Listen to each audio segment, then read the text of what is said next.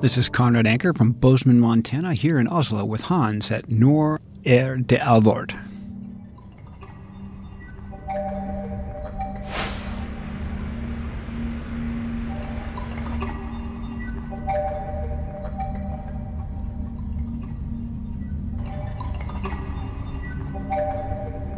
So we choose to go out and shiver away on the mountain with exposure. We choose to run a 30 kilometer run in the rain and things like that. But there's no one saying you have to go do that. But when you understand pain and suffering, you have understanding and empathy for people that are in that situation, not by their own choosing, but by circumstances.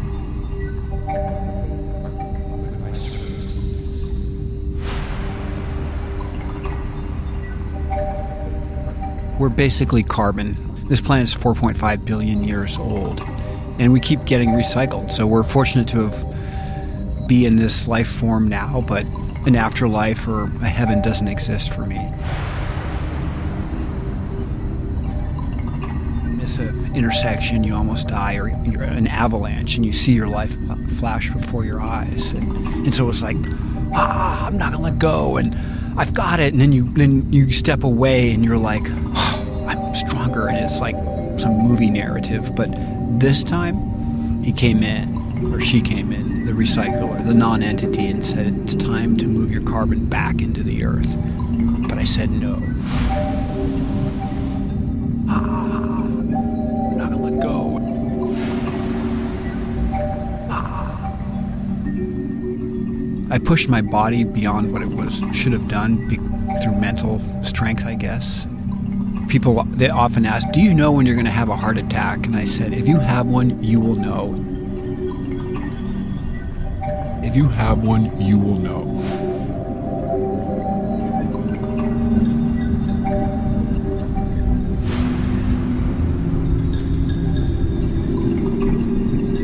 Wherever we are outside, we we take that moment to take away the human construct. While we're here and walking around in Oslo, we see cement, steel, glass, plastic. It's a circular, rectilinear world. Everything is designed by humans. But when we go outdoors and we walk in the pine forests of northern Norway or ski in the birch forests or climb on a waterfall, nature is infinitely variable. There is no same thing again.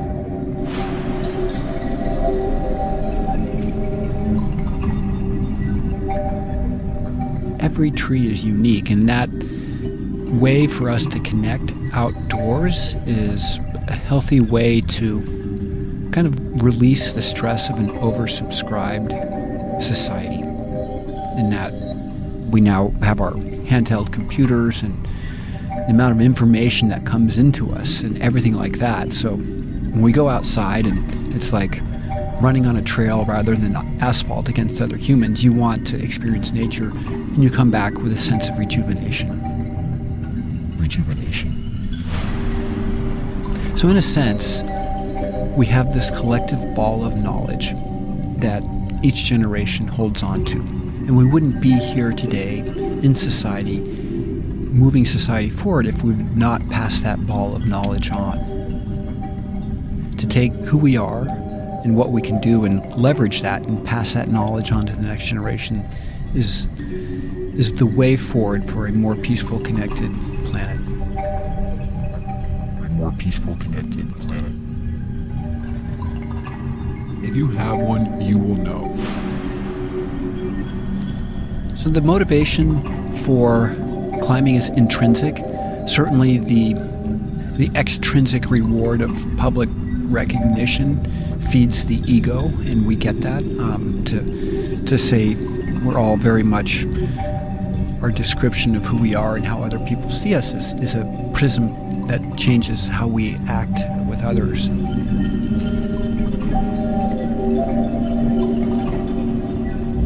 If you have one, you will know. When you look at a picture of Cerro Torre, it is a singular, it's like a pencil coming out of the ice cap, and it's just incredibly steep. There's few peaks that have that thousand meter vertical that are that slender if you practice alpine climbing, you climb granite. If that's your passion, you have to go to feed that passion and find the most intense mountains.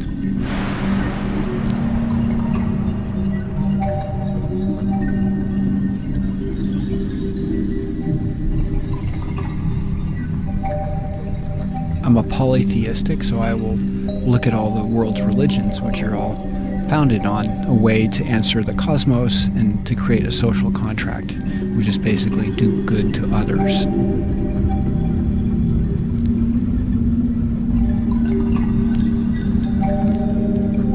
Climbing is in, in, intrinsic.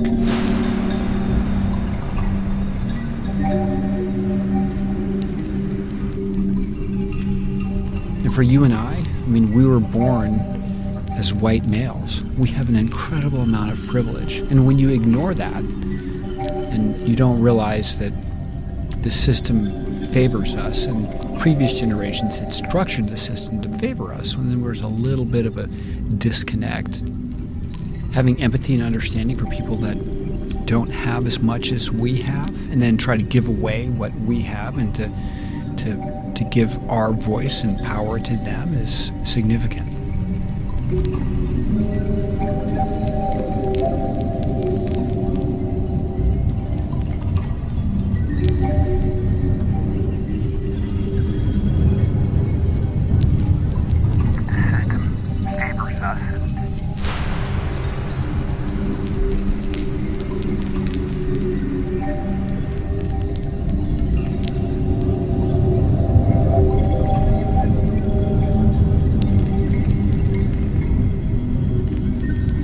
House, the rain doesn't come in, the heater works, the coffee machine works. You know, what more could we want? But that value comes from having chosen hardship and suffering by our own volition. When you understand pain and suffering, you have understanding and empathy for people that are in that situation, not by their own choosing, but by circumstances.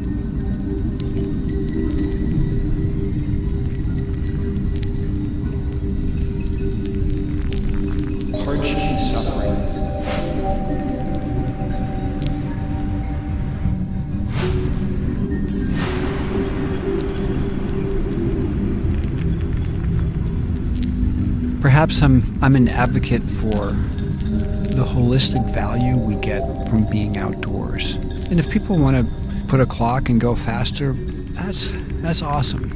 More power to them. And, and again, it, it comes down to if you're not harming other humans and you're, you know, just go out and have fun.